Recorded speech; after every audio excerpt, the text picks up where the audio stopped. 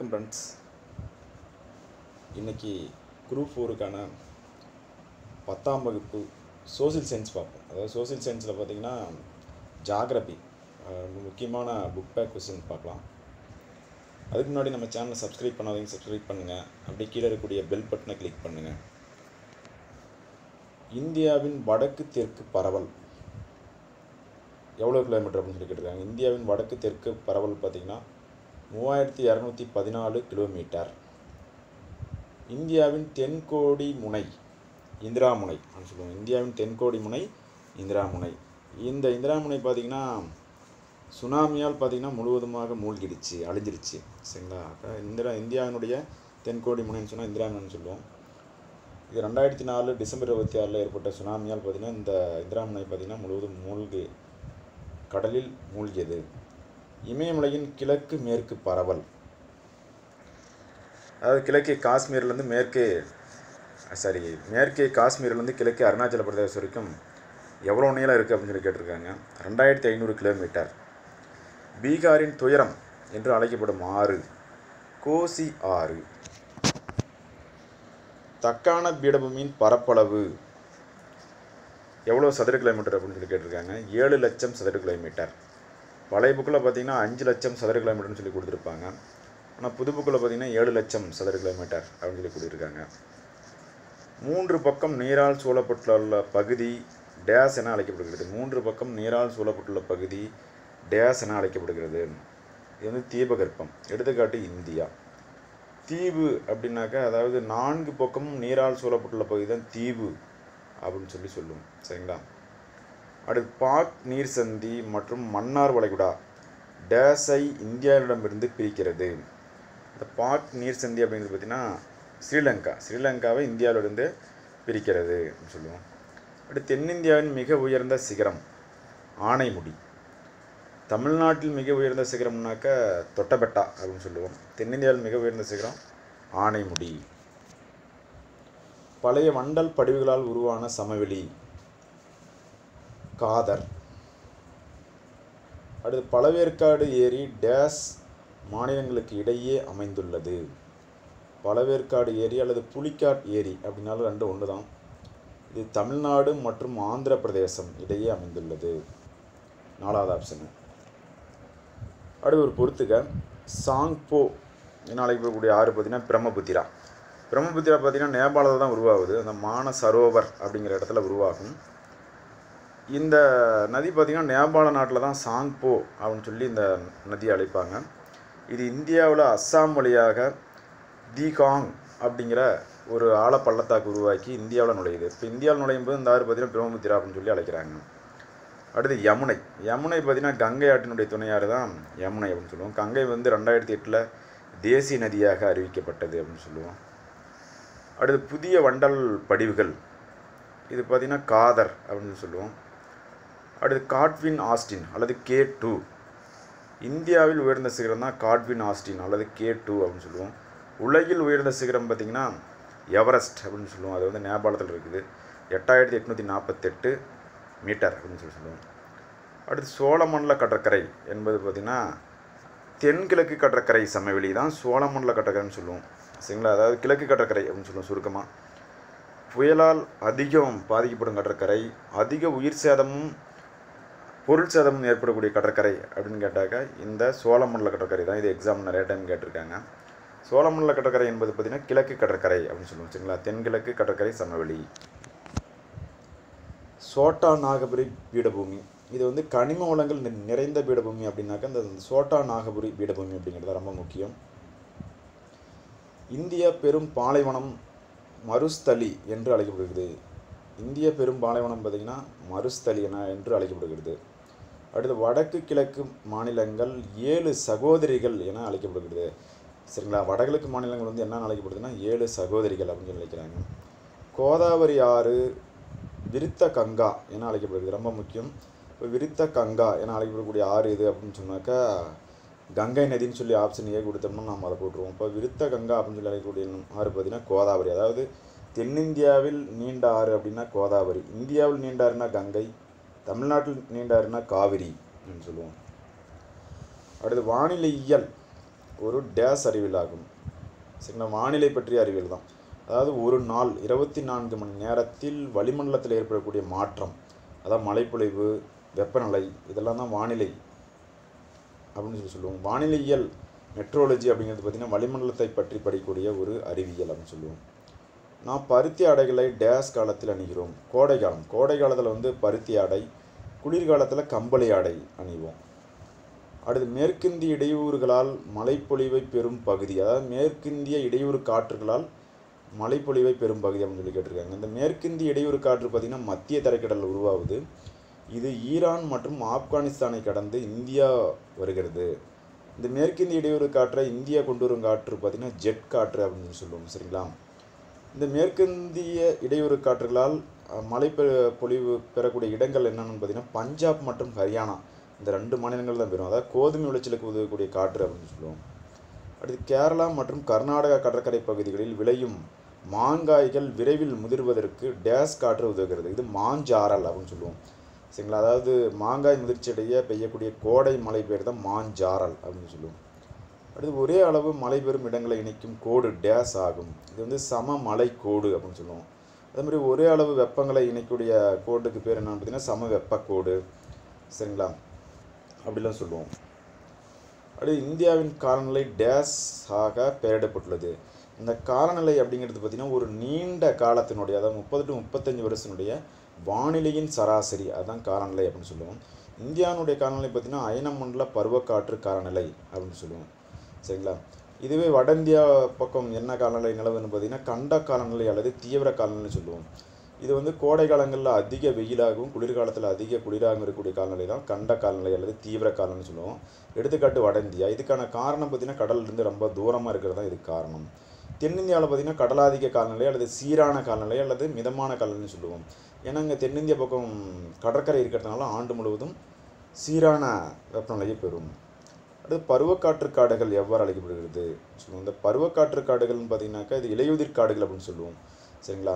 அதாவது வெப்பமண்டல அகன்ற இலை காடுகள் தான் இந்த பருவக்காற்று காடுகள்னு சொல்லுவோம். இது வந்து இலையுதிர் காடுகள்னு சொல்லுவோம். இங்கே பார்த்தீங்கன்னா கடினமான மரங்கள் கிடைக்கும். அதாவது தேக்கு சால் படாக் வேட்டில் மரம் சந்தன மரம் இது போன்ற கடினமான மரங்கள்லாம் கிடைக்கும். இது பார்த்திங்கன்னா மேற்கு தொடர்ச்சி மலையினுடைய கிழக்கு பகுதியில் இந்த காடுகள் அதிகமாக இருக்குது பருவக்காற்று காடுகள் வந்து மேற்கு தொடர்ச்சி மலையினுடைய கிழக்கு பகுதியில். சரிங்களா? இந்த காடுகள் வந்து ஆண்டினுடைய மழைப்பொழிவு பார்த்திங்கனாக்கா இரநூறு அதாவது நூறு சென்டிமீட்டர்லேருந்து இரநூறு சென்டிமீட்டர் வரைக்கும் மழை பெய்யக்கூடிய பகுதியிலாக இருக்கும். அடுத்து இமயமலையில் இர ரெண்டாயிரத்தி நானூறு மீட்டர் உயரத்திற்கு மேல் காணப்படும் காடு எது? அப்படின்னு பார்த்தீங்கன்னா ஆல்ஃபைன் காடுகள். அடுத்து சேஷாலம் உயிர்கோள பெட்டகம் அமைந்துள்ள மாநிலம் ஆந்திர பிரதேசம். இந்த மாதிரி கொஸ்டின்லாம் கேட்கலாம். அடுத்து யுனெஸ்கோவின் உயிர்கோள பாதுகாப்பு பெட்டகத்தின் ஒரு அங்கமாக இல்லாதது எது? அப்படின்னு பார்த்தீங்கன்னா நீலகிரி அகத்தியர் மலை பெரிய நிக்கோபர். இதெல்லாம் பார்த்திங்கன்னா உயிர்கோள பாதுகாப்பு பெட்டகமாக தான் இருக்குது கட்ஸ் இதுதான் உயிர்கோள பெட்டகமாக இல்லை. அடுத்து யானை பாதுகாப்பு திட்டம். பொறுத்து கொண்டு கொடுத்துருக்காங்க. அது வந்து யானை பாதுகாப்பு அப்படிங்கிறது தான் கரெக்டு உயிர் பன்மை சிறப்பு பகுதிகள் அப்படின்னு பார்த்தீங்கன்னா இமயமலை தான். அது ரெண்டு. வடகிழக்கு பருவக்காற்று. அதனுடைய காலம் பார்த்திங்கன்னா அக்டோபர் டு டிசம்பர். அதுதான் சரிங்களா? அது தென்மேற்கு பருவக்காற்று காலம்னு பார்த்திங்கன்னா ஜூன் டு செப்டம்பர் வரைக்கும்னு சொல்லுவோம். அயனமண்டல முட்புதர் காடுகள் பார்த்திங்கன்னா பாலைவனம் மற்றும் அரைப்பாலைவன தாவரங்கள் தான் சொல்லுவோம். கடலோர காடுகள் பார்த்திங்கனாக்கா கடற்கரை காடுகள் அப்படின்னு சொல்லுவோம். அடுத்து இமயமலையானது ஒரு காலநிலை அரணாக செயல்படுகிறது. காரணம் பார்த்திங்கன்னா இமயமலை மத்திய ஆசியாவிலிருந்து வீசும் குளிர்ந்த காற்றை தடுத்து இந்திய துணைக்கண்டத்தை மித வெப்பமாக வைத்திருக்கிறது. இது ரெண்டும் சரிதான். ஏ மற்றும் ஆர் இரண்டும் சரி. கூற்றுக்கான ஸ்- சரியான காரணம் அப்படின்னு சொல்லி சொல்லுவோம் சரிங்களா? இப்போது இமயமலை வந்து பார்த்திங்கன்னா மத்திய ஆசியாவிலிருந்து வீசக்கூடிய குளிர்ந்த காற்றை வந்து தடுக்கக்கூடிய ஒரு இயற்கை அரணாக தான் இருக்குது இந்த குளிர்காற்றால் அதிகம் பாதிக்கக்கூடிய நாடு பார்த்திங்கன்னா அமெரிக்க ஐக்கிய நாடுகள் அப்படின்னு சொல்லுவோம். அடுத்து ஓதக்காடுகள் பொருந்தாத விடையை தேர்வு செய்கன்னு சொல்கிறாங்க பொருந்தாத விடை ஓதக்காடுகள் இதனை சுற்றி காணப்படுகிறது. அப்படின்னு பார்த்தீங்கன்னா இதெல்லாம் பார்த்திங்கன்னா நதிகளை சுற்றி தான் காணப்படும்.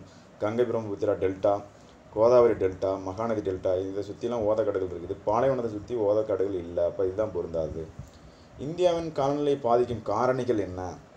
பார்த்தீங்கன்னா அச்சப்பரவல் உயரம் கடலிலிருந்து அமைந்துள்ள தூரம் இதெல்லாமே காலநிலை பாதிக்கக்கூடிய காரணிகள் தான். மண் இதுதான் காலநிலை பாதிக்கக்கூடிய காரணிகள் அல்ல. இதுதான் பொருந்தாது. அடுத்தது சில புரட்சிகள் கொடுத்துருக்காங்க. இதிலேருந்து எப்போவும் டிஎன்பிஎஸ்சிக்கு ஒரு கொஸ்டின் அடிக்கடி கேட்கக்கூடிய முக்கியமான பகுதி. சரிங்களா? இது வந்து பொறுத்துக்கு டைப்பில் கேட்குறாங்க. ஃபஸ்ட்டு பார்த்திங்கன்னா மஞ்சள் புரட்சி எண்ணெய் வித்துக்கள். அதாவது குறிப்பாக பார்த்திங்கன்னா கடுகு மற்றும் சூரியகாந்தி உற்பத்தி. நீல புரட்சி அப்படிங்கிறது பார்த்திங்கன்னா மீன்கள் உற்பத்தி பழுப்பு புரட்சி அப்படிங்கிறது பார்த்திங்கன்னா தோல் மற்றும் கோகோ மரபுசாரா உற்பத்தி அப்படின்னு சொல்லுவோம். பழுப்பு புரட்சி வந்து தோல் பொருட்கள் மற்றும் கோகோ மரபுசாரா உற்பத்தி. அடுத்து தங்க நூலிலை புரட்சி சணல் உற்பத்தி அப்படின்னு சொல்லுவோம் சரிங்களா? தங்க இலை பயிர் அப்படின்னு சொல்லி சணலை சொல்லுவோம். அதே மாதிரி பொன் புரட்சி அப்படின்னா பழங்கள் தேன் மற்றும் தோட்ட தோட்டக்கலை பயிர் சரிங்களா? இதெல்லாம் பார்த்திங்கன்னா பொன் புரட்சின்னு சொல்லுவோம். குறிப்பாக பார்த்திங்கன்னா பழங்கள் அப்படின்னு சொல்லி சொல்லுவோம். சாம்பல் புரட்சி அப்படின்னாவே உரங்கள். இளஞ்சிவப்பு புரட்சி அப்படின்னா வெங்காயம் மருந்து பொருட்கள் இறால் உற்பத்தி. இதுதான் இளஞ்சிவப்பு புரட்சி. சரிங்களா? இளஞ்சிவப்பு புரட்சி இறால் வெங்காயம் மருந்து பொருட்கள். அடுத்து பசுமை புரட்சி அப்படின்னாக்கா அதாவது வேளாண் உற்பத்தின்னு சொல்லுவோம். பசுமை புரட்சியின் தந்தை அப்படின்னாக்கா நார்மன் போர்லாக் அப்படின்னு சொல்லி சொல்லுவோம். இந்திய பசுமை புரட்சியின் தந்தைனாக்கா எம்எஸ் சுவாமிநாதன் அப்படின்னு சொல்லுவோம். வெள்ளி புரட்சி அப்படின்னாக்கா முட்டை மற்றும் கோழிகள் உற்பத்தி. வெள்ளி இலை புரட்சி அப்படின்னு பார்த்தீங்கன்னா பருத்தி. தங்க இலை புரட்சி வந்து சணல் அப்படின்னு சொல்ல முடியும் அதே மாதிரி வெள்ளி இலை. இந்த லை பார்த்திங்கனாக்கா நூலை குறிக்கும் சிறப்பு லை சரிங்களா? அடுத்து சிவப்பு புரட்சி அப்படின்னு பார்த்தீங்கன்னா இறைச்சி உற்பத்தி தக்காளி உற்பத்தி. இந்த இளஞ்சிவப்பு புரட்சிக்கும் சிவப்பு புரட்சிக்கும் வேறுபாடு இருக்குது சரிங்களா? இளஞ்சிவப்பு புரட்சி அப்படின்னா வெங்காயம் மருந்து பொருட்கள் இறால் உற்பத்தி. இங்கே சிவப்பு புரட்சி அப்படின்னாக்கா இறைச்சி உற்பத்தி தக்காளி உற்பத்தி தான் சிவப்பு புரட்சின்னு சொல்லுவோம். அடுத்து வட்ட புரட்சி அப்படிங்கிறது பார்த்திங்கன்னா உருளைக்கிழங்கு உற்பத்தி பசுமை புரட்சி இது ஏற்கனவே பார்த்துட்டோம். அதாவது உணவு தானியம் விவசாய உற்பத்தி வெண்மை புரட்சி அப்படின்னு பார்த்திங்கன்னா பால் உற்பத்தி சரிங்களா? வெண்மை புரட்சியின் தந்தை அப்படின்னாக்கா வர்க்கீஸ் குரியன் அப்படின்னு சொல்லுவோம். அடுத்தது டேஸ் மண்ணில் இரும்பு ஆக்சைடு அதிகமாக காணப்படுகிறது. இது வந்து சரளை மண் அப்படின்னு தான் வரும். இந்த சரளை மண் இங்கே இல்லாதனால அதுக்கு ரிலேட்டிவாக இருக்கிறது செம்மண் மட்டும்தான். அது செம்மண் பார்த்திங்கன்னா சிவப்பு நிறமாக இருக்கிறது காரணம் இரும்பு அப்படின்னு சொல்லி சொல்லி கொடுத்துருப்பாங்க. அடுத்தது பார்த்திங்கன்னா எந்த நிறுவனம் இந்தியாவில் உள்ள மண் வகைகளை எட்டு பெரும் பிரிவுகளாக பிரித்துள்ளது அப்படின்னு பார்த்தீங்கன்னா இந்திய வேளாண் ஆராய்ச்சி நிறுவனம். சரிங்களா? முதல் ஆப்ஷன் அதுதான் ஆறுகளின் மூலம் உருவாகும் மண் அப்படின்னு பார்த்திங்கன்னா வண்டல் மண் அப்படிங்கிறது தான் இந்த ஆறுகளுடைய முக்கியமான செயல் பார்த்திங்கன்னா அரித்தல் கடத்துதல் படி வைத்தல் சரிங்களா? இந்த படி வைத்தல் செயல் நடைபெறக்கூடிய இடம் தான் டெல்டா அப்படின்னு சொல்லுவோம். சரிங்களா? அங்கே தான் பார்த்திங்கன்னா அந்த வண்டல் மண் வந்து படிய வைக்கும். இந்தியாவின் உயரமான புவியீர்ப்பு அணை அப்படின்னாக்கா பக்ரானங்கள் அணை. இதுதான் பார்த்திங்கன்னா இந்தியாவில் உயரமான புவியீர்ப்பு அணை அப்படின்னு சொல்லுவோம். இந்தியாவில் மிகப்பெரிய நீர்மின் சக்தி நிலையம்னாலும் பக்ரானங்கள் அணை அதுதான். உலகில் மிகப்பெரிய நீர்மின் சக்தி நிலையம்னாக்கா சீனாவில் உள்ள யாங்டிசி. யாங்டிசி ஆற்றில் உள்ள முப்பள்ளத்தாக்கு அணை அப்படின்னு சொல்லுவோம். டேஸ் என்பது ஒரு வணிக பயிர் பருத்தி. பருத்தி பார்த்திங்கன்னா ஒரு வணிக பயிர் அப்படின்னு சொல்லுவோம். கரிசல் மண் டேஸ் எனவும் அழைக்கப்படுகிறது. பருத்தி மண் சரிங்களா? பருத்தி பார்த்திங்கன்னா அதிகமாக கரிசல் மண்ணில் தான் விளையும். இது உலகிலேயே மிக நீளமான அணை அப்படின்னு பார்த்திங்கன்னா ஹிராகுட் அணை மூணாவது ஆப்ஷனு அடுத்து இந்தியாவில் அதிகமாக நெல் விளையும் மாநிலம் பார்த்திங்கன்னா மேற்கு வங்காளம் அப்படின்னு சொல்லுவோம் சரிங்களா? அது ஆசியா கண்டம் தான் பார்த்திங்கன்னா தொண்ணூற்றி எட்டு சதவீதம் நெல் உற்பத்தியானது அதிகமாக நடக்கக்கூடிய கண் கண்டம் அப்படின்னாக்கா அது ஆசியா கண்டம் அப்படின்னு தான் சொல்லுவோம். அதான் ஆசியாவில் பார்த்தீங்கன்னா சீனாவில் யாங்டிசி ஆற்றங்கரையில் தான் முத முதல்ல வந்து நெல் பயிரிடப்பட்டது அப்படின்னு சொல்லி சொல்லுவோம். சரிங்களா? உயர்தரமான அரிசி அப்படின்னாக்கா பாசுமதி அரிசி அப்படின்னு சொல்லி சொல்லுவோம். உணவு உற்பத்தியில் இந்தியா வந்து தன்னிறைவு அடைந்த ஆண்டுனா ஆயிரத்தி தொள்ளாயிரத்தி எழுபத்தி ஏழு அப்படின்னு சொல்லி சொல்லுவோம். சரிங்களா? இப்போ இந்தியாவில் அதிகமாக நெல் விளையும் மாநிலம் பார்த்திங்கன்னா மேற்கு வங்காளம் அப்படின்னு சொல்லுவோம். இந்தியாவில் தங்க இலை பயிர் என அழைக்கப்படுவது பார்த்திங்கன்னா சணல். ஏற்கனவே பார்த்தோம். காஃபி அதிகம் உற்பத்தி செய்யும் மாநிலம் பார்த்திங்கன்னா கர்நாடகா. சரிங்களா? காஃபி அதிகமாக உற்பத்தி செய்யக்கூடிய மாநிலம்னா கர்நாடகா. தேயிலை அதிகமாக உற்பத்தி செய்யக்கூடிய நாடு மாநிலம்னா அஸ்ஸாம் ரப்பர் அதிகமாக உற்பத்தி செய்யக்கூடிய மாநிலம் அல்லது நறுமண பொருள்களின் தோட்டம் என அழைக்கக்கூடிய மாநிலம் அப்படின்னு சொல்லி பார்த்தீங்கன்னாக்க கேரளா. அடுத்து கூற்று. பழங்கள் காய் வகைகள் மற்றும் பூக்கள் பயிரிடலில் ஈடுபடுவது தோட்டக்கலைத் துறையாகும். கரெக்டு தான். உலகளவில் இந்தியா மா வாழை மற்றும் சிட்ரஸ் பல வகைகள் உற்பத்தியில் முதலிடத்தில் உள்ளது. இது இரண்டாம் இடம் அப்படின்னு சொல்லி வரும். சரிங்களா? தற்பொழுது வந்து முதலிடமாக கூட மாறி இருக்கலாம் ஸோ அதை பார்த்துக்கணும். இப்போ கூற்று சரி காரணம் தவறு. அதுதான் வந்து சரியானது. அடுத்து வண்டல் மண் ஆறுகளின் மூலம் அரிக்கப்பட்டு படிய வைக்கப்பட்ட மக்கிய புல்கள் ஆன ஒன்று. இது சரிதான். நெல் மற்றும் கோதுமை வண்டல் மண்ணில் நன்கு வளரும். இதுவும் சரிதான். சரிங்களா? அப்போ கூற்று மற்றும் காரணம் இரண்டும் சரி. கூற்று காரணத்திற்கான சரியான விளக்கம் அப்படிங்களா சரி. அடுத்து பொருந்தாததை தேர்ந்தெடுக்கவும் சொல்லி கொடுத்துருக்காங்க. கோதுமை நெல் திணை வகைகள் இதெல்லாம் பார்த்திங்கன்னா அதாவது தானிய வகைகளில் வரும். காஃபி பார்த்திங்கன்னா சம்மந்தம் இல்லாத இருக்குது. அதனால் அதுதான் பொருந்தாது. அடுத்து காதர் பாங்கர் வண்டல் மண். இதெல்லாம் பார்த்திங்கன்னா வண்டல் மண்ணினுடைய பிரிவுகள்னு சொல்லலாம். கரிசல் மண் பார்த்திங்கன்னா ஒரு சம்மந்தம்லாம் இருக்குது அதனால் அதுதான் வந்து பொருந்தாது. அடுத்து வெள்ளப்பெருக்கு கால்வாய் வற்றாத கால்வாய் ஏரி பாசனம் கால்வாய். முதல்லாம் பார்த்திங்கன்னா கால்வாய் பாசனத்தை பற்றி சொல்லுது ஏரி பாசனம் மட்டும்தான் சம்மந்தம் இல்லாமல் இருக்குது அதுதான் பொருந்தாது அடுத்து இந்தியாவின் சர்க்கரை கிண்ணம் என அழைக்கப்படுவது பொறுத்துக்க இந்தியாவின் சர்க்கரை கிண்ணம் என அழைக்கப்படுவது பார்த்திங்கன்னா உத்தரப்பிரதேசம் மற்றும் பீகார் அப்படின்னு சொல்லுவோம். இந்தியாவின் சர்க்கரை கிண்ணம் சொல்லப்படுகிறது உத்தரப்பிரதேசம் மற்றும் பீகார். உலகின் சர்க்கரை கிண்ணம் பார்த்திங்கன்னா கியூபா அப்படின்னு சொல்லி சொல்லுவோம். சரிங்களா? காஃபி பார்த்திங்கன்னா கர்நாடகா ஏற்கனவே பார்த்தோம்.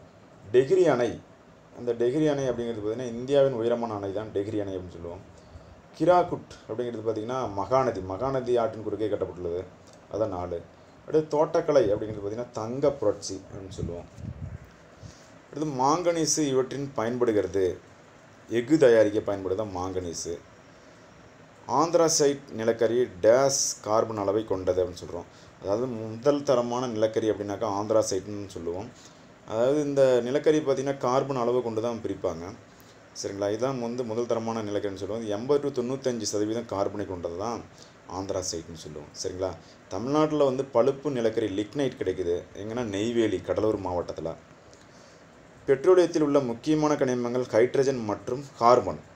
Option C. அதுதான் கரெக்டு அப்படியே தென்னிந்தியாவின் மான்செஸ்டர் என அழைக்கப்படக்கூடிய நகரம் பார்த்திங்கன்னா கோயம்புத்தூர். இந்தியாவின் மான்செஸ்டர் பார்த்திங்கன்னா அகமதாபாத் அப்படின்னு சொல்லுவோம். அடுத்து இந்தியாவின் முதல் சணல் ஆலை நிறுவப்பட்ட இடம் பார்த்திங்கன்னா கொல்கத்தா. சரிங்களா? இங்கே தான் வந்து முதல் சணல் ஆலை வந்து நிறுவப்பட்ட இடம்னு சொல்லுவாங்க ரொம்ப முக்கியம். அடுத்தது பார்த்திங்கன்னா இந்தியாவின் முதல் அணுமின் நிலையம் நிறுவப்பட்ட மாநிலம் பார்த்திங்கன்னா மகாராஷ்டிரா நரோரா அப்படிங்கிறது தான் வந்து முதல் அணுமின் நிலையம் நிறுவப்பட்ட இடம்னு சொல்லுவோம். அடுத்து மிக அதிகமாக கிடைக்கக்கூடிய ஆற்றல் வளம் அப்படின்னு பார்த்திங்கன்னா சூரியன் தான் சில இதெல்லாம் பார்த்திங்கன்னா புதுப்பிக்கக்கூடிய ஆற்றல் வளம் அப்படின்னு கூட சொல்லுவோம். புகழ்பெற்ற சிந்திரி உர தொழிலகம் அமைந்துள்ள மாநிலம் பார்த்திங்கன்னா ஜார்க்கண்ட். சரிங்களா? அதேமாதிரி தமிழ்நாட்டில் பார்த்திங்கன்னா ஸ்பிக் உர தொழிற்சாலை அமைந்துள்ள இடம் பார்த்திங்கன்னா தூத்துக்குடின்னு சொல்லுவோம். இது சிந்திரி உர தொழிலகம் அமைந்துள்ள மாநிலம் பார்த்திங்கன்னா ஜார்க்கண்ட். இதெல்லாம் ரொம்ப முக்கியம். சோட்டா நாகபுரி பீடபூமி பகுதியில் பொருளாதார வளர்ச்சிக்கு கருவாக இருப்பது எதுன்னு பார்த்தீங்கன்னா கனிம வளம் ரெண்டாவது ஆப்ஷன் அடுத்து இந்திய கடற்கரை பகுதி இரும்பு எஃகு தொழிலகங்களுள் ஒன்று அமைந்துள்ள இடம் அப்படின்னு பார்த்தீங்கன்னாக்கா கடற்கரை பகுதியில் அமைந்துள்ள இடம்னு பார்த்தீங்கன்னா விசாகப்பட்டினம் அப்படின்னு சொல்லுவோம். அடுத்து பார்த்தீங்கன்னா இரண்டு பொருத்தை கொடுத்துக்கிறாங்க பாக்சைட் அப்படிங்கிறது பார்த்தீங்கன்னா வானூர்தி. வானூர்தியில் பயன்படுது. சிப்சம் அப்படின்னு பார்த்தீங்கன்னா சிமெண்ட் தயாரிக்க பயன்படுது தான் சிப்சம்னு சொல்லுவோம். அடுத்து கருப்பு தங்கம் அப்படிங்கிறது பார்த்தீங்கன்னா நிலக்கரி. சரிங்களா? அங்கே ஜாகிரபியில் வந்து நிலக்கரின்னு கொடுத்துருப்பாங்க. சயின்ஸில் வந்து பெட்ரோலியம்னு கொடுத்துருப்பாங்க. சரிங்களா? அதை ஆப்ஷன் பார்த்து போடுங்க. ரெண்டும் கொடுக்க மாட்டாங்க. ரெண்டில் ஒன்று தான் கொடுப்பாங்க. சரிங்களா? இப்போ கருப்பு தங்கம் அப்படின்னா ஜாகிரபியில் நிலக்கரி இதே வந்து சயின்ஸில் பார்த்தீங்கன்னா பெட்ரோலியம் அப்படின்னு சொல்லி கொடுப்பாங்க. அடுத்து இரும்பு தாது பார்த்தீங்கன்னா மேக்னடைட் மேக்னடைட் லிமோனைட் சிட்ரைட் இதெல்லாம் பார்த்தீங்கன்னா இரும்பு தாதினுடைய வகைகள் அப்படின்னு சொல்லுவோம் சரிங்களா? அடுத்து மைக்கா அப்படின்னு பார்த்தீங்கன்னாக்கா மின்சாதன பொருள் அதாவது கருப்பு நிற பொருள் அப்படின்னு சொன்னால் மைக்கான்னு சொல்லுவோம். உலகத்திலே பார்த்தீங்கன்னா அதிக அளவு மைக்கா உற்பத்தி செய்யக்கூடிய நாடு பார்த்தீங்கன்னா இந்தியா தான் அறுபது சதவீத அளவுக்கு மைக்கா வந்து இந்தியாவில் தான் உற்பத்தி ஆகுது. சரிங்களா அடுத்த பொறுத்துக்கு பார்த்தீங்கன்னா இந்தியாவின் டெட்ராய்ட் அப்படின்னு சொல்லக்கூடியது சென்னை. அனல்மின் நிலையம் பார்த்தீங்கன்னா ஆயிரத்தி தொள்ளாயிரத்தி எழுபத்தஞ்சுடன் தொடர்புடையது. காற்றாலை பண்ணை பார்த்தீங்கன்னாக்கா குஜராத். அடுத்து ஓத சக்தி அப்படின்னு பார்த்தீங்கன்னா திருவனந்தபுரம். அடுத்து சூரிய சக்தி அப்படின்னாக்கா ஆந்திர பிரதேசனுடைய தொடர்புடையது. அடுத்து மக்கள் தொகையின் பல்வேறு அம்சங்கள் பற்றிய அறிவியல் பூர்வமான படிப்பு அப்படின்னாக்கா மக்களியல். ரெண்டாயிரத்தி பதினொன்றாம் ஆண்டின் மக்கள் தொகை கணக்கெடுப்பின்படி அதிக கல்லூரி பெற்ற மாநிலம் அப்படின்னா கேரளா. கேரளா தான் அதிக அளவு கல்லூரி பெற்ற மாநிலம்னு சொல்லுவோம். குறைந்த அளவு கல்லூரி பெற்ற மா மாநிலம்னு பார்த்திங்கன்னா பீகார். இதே தமிழ்நாட்டில் அதிக அளவு கல்லூரி பெற்ற மாவட்டம்னு பார்த்திங்கன்னா கன்னியாகுமரி. குறைந்த அளவுன்னு பார்த்தீங்கன்னாக்கா தருமபுரி அப்படின்னு சொல்லுவோம். மனிதவள மேம்பாட்டு மேம்பாடு டேஸ் மூலம் கணக்கிடப்படுகிறது அப்படின்னு கொடுத்துருக்காங்க. மனிதவள மேம்பாட்டு குறியீடு அப்படிங்கிறதா சரி. அடுத்து டேஸ் போக்குவரத்து நேரடியாக உற்பத்தியாளரையும் நுகர்வோரையும் இணைக்கிறது. சாலை போக்குவரத்து.